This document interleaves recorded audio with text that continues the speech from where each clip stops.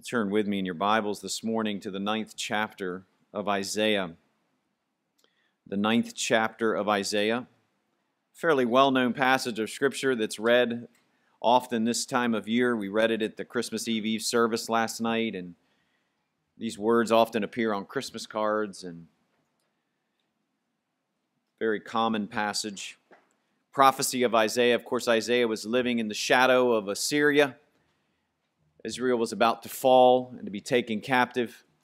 The people of Israel refused to hear the warnings of Isaiah, the prophet who had been sent to warn them of impending judgment if they did not repent.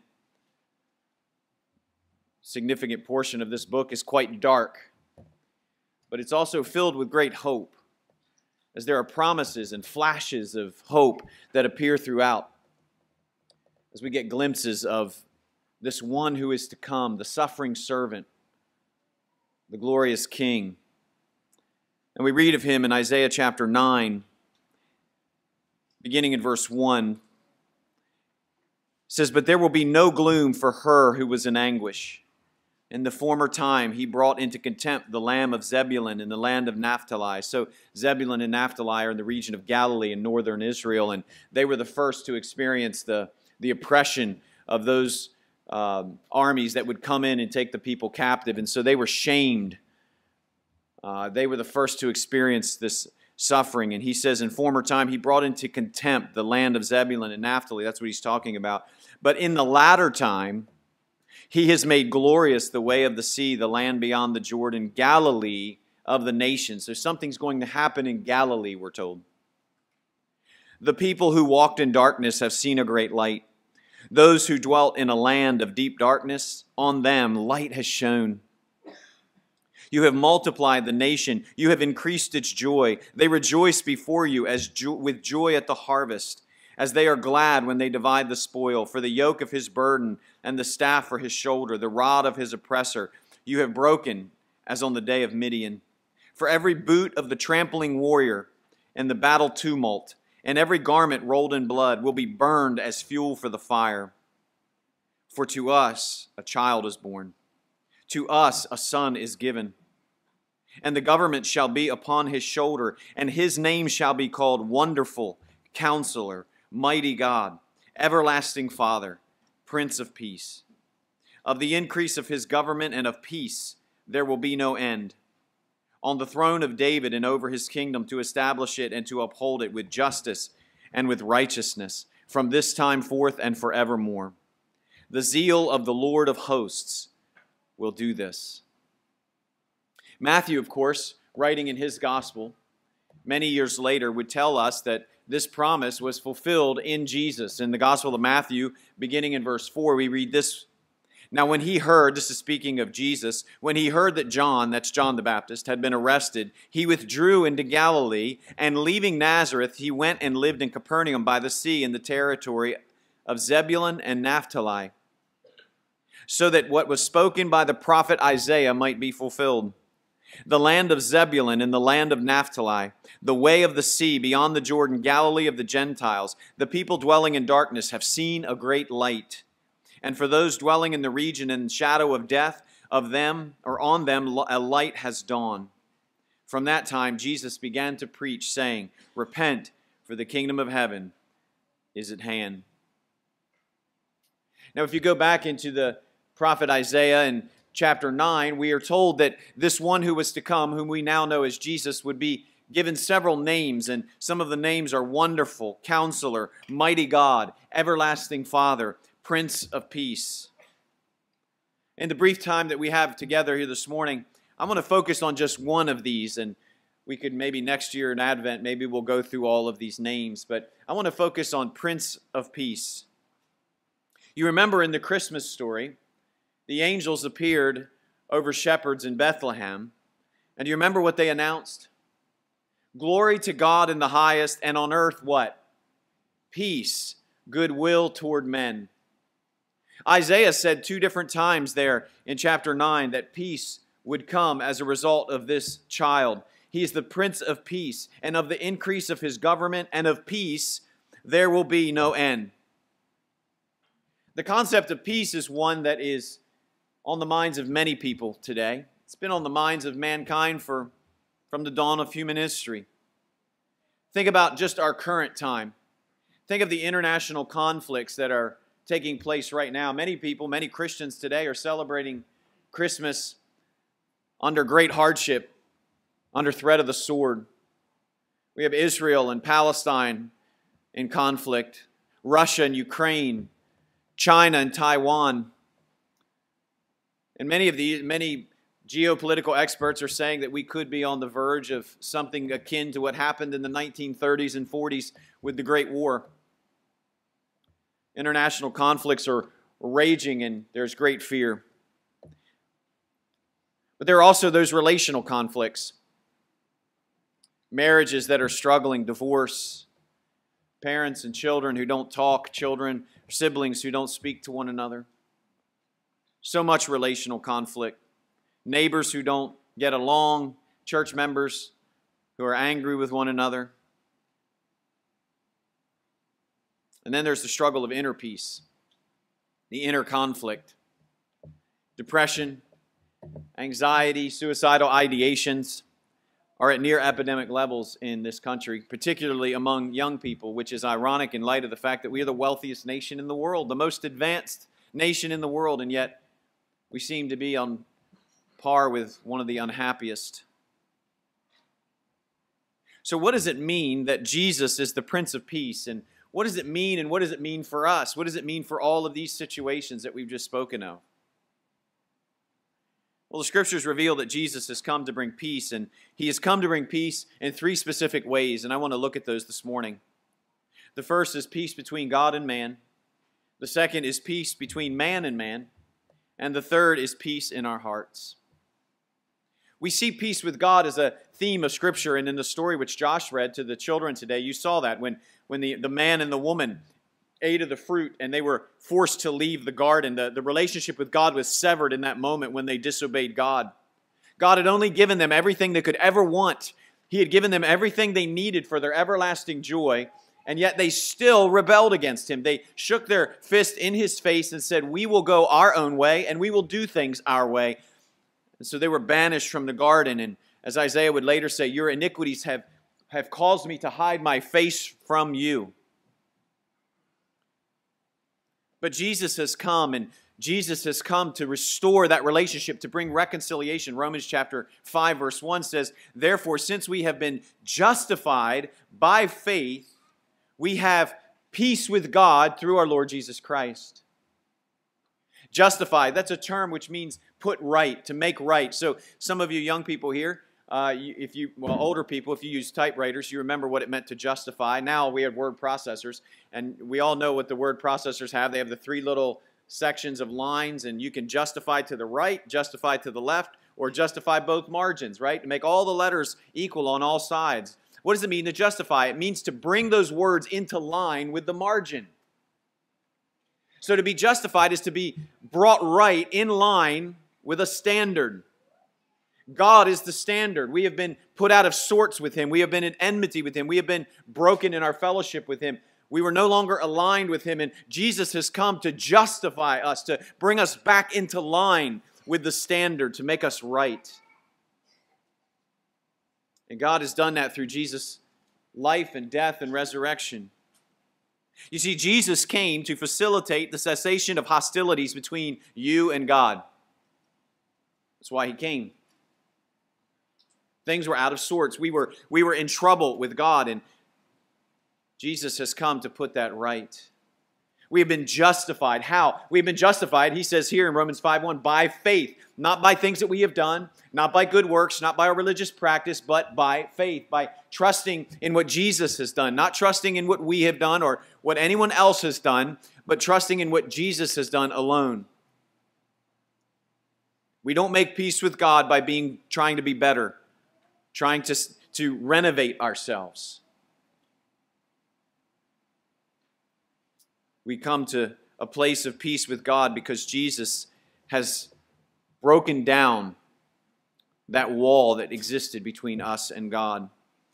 Romans 5:10 refers to us as his enemies. Genesis 3, which was quoted again this morning in the story, that there would be enmity between the seed of the woman and the seed of this man who was to come. There was this conflict, this eternal conflict, which was going to, to rage. But Jesus has come to make it right. That little baby in the manger is, if you can imagine this, as Mary held that baby in her, her arms, the Christ child, and to think that just 30 some odd years later, nails would be driven through his hands and through his feet as he hung upon a cross. Why did he hang on that cross? He hung upon that cross because he was bearing our sin and our shame. We couldn't solve our problem, so God solved it. God came in flesh as one of us to die as one of us in our place so that we might be forgiven. In our place, condemned he stood, as the old hymn says. The chastisement, Isaiah would say in 53, the chastisement, the punishment that brought us peace fell upon him. And by his wounds we are healed. He came to die. He was born to die. And he was raised, Paul would say in Romans chapter 4, he was raised for our justification. When Jesus came up out of that grave, he left our sins in the tomb. He left our sins in the tomb. And if you will come this morning in faith, trusting in what God has done through Jesus, you too can be forgiven and free. You can be saved from the judgment that is due all of us for our sin.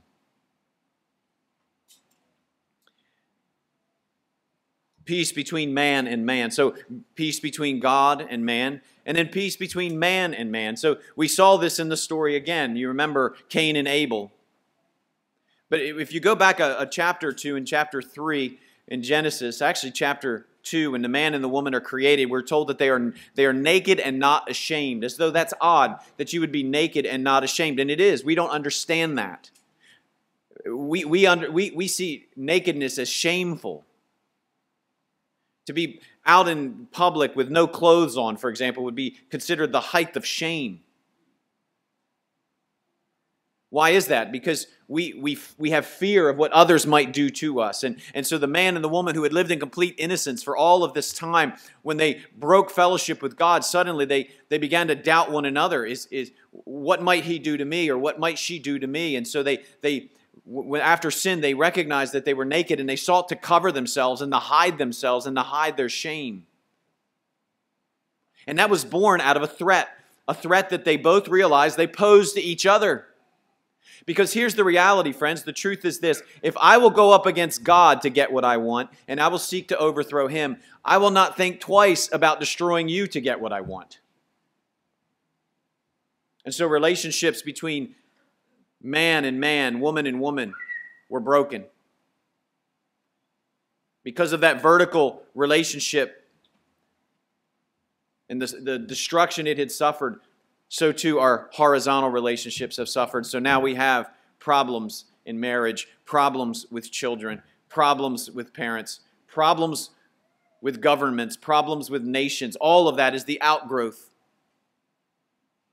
of our broken fellowship with God. But God has remedied that on the cross through Christ. And now, according to Paul in Ephesians, he says that God, through the, through the cross, has broken down the dividing wall of hostility between us so that now we can have peace with one another. Not only can we have peace with God, we can have peace with one another. So we can thrive in our marriages. We can thrive in our relationships with our family. We can thrive in our relationships with our fellow church members. In fact, Paul would say that's one of the characteristics of the church that sets it apart from the world is that we get along.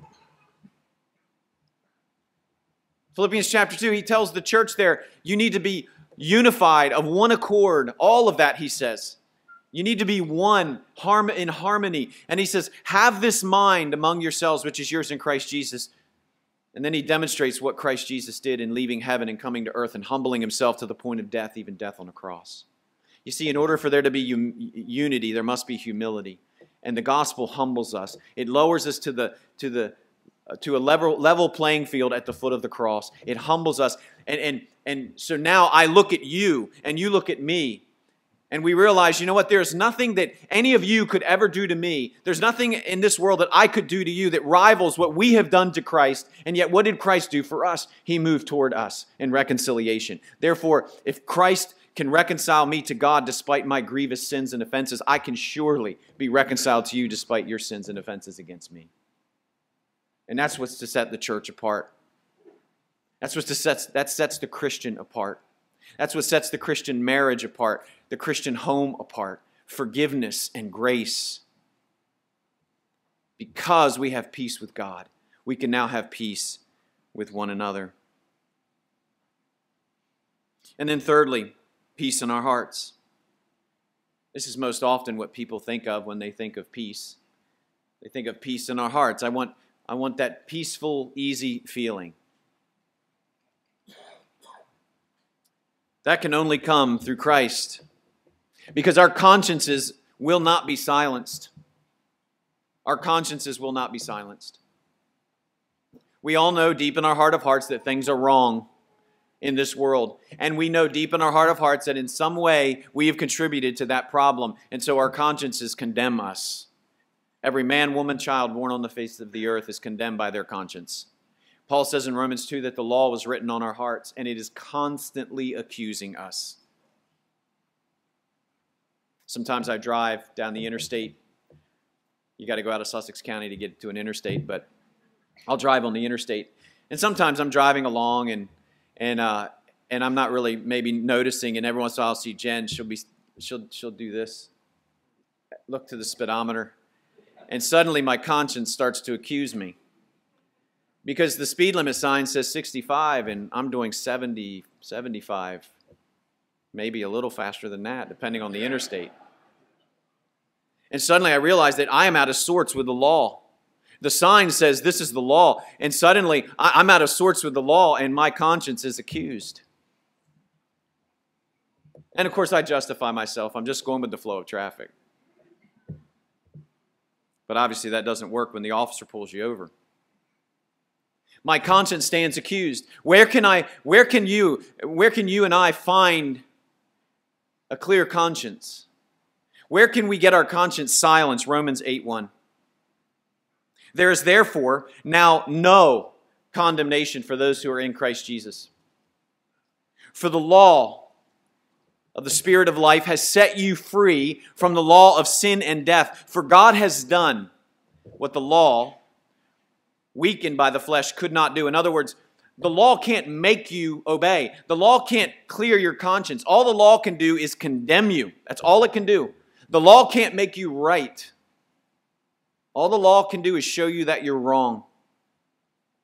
But God has done what the law, weakened by our sinful flesh, could not do. Here's how He did it by sending His own Son in the likeness of sinful flesh and for sin he condemned sin in the flesh in order that the righteous requirement of the law might be fulfilled in us who walk not according to the flesh, but according to the Spirit. All the law could ever do is condemn. Imagine what it was like to live in the Old Testament under the law, to know that you had to keep the law, and every time you broke the law, you had to offer sacrifices for your violation of that law. You could, you could never be fully assuaged of your guilt.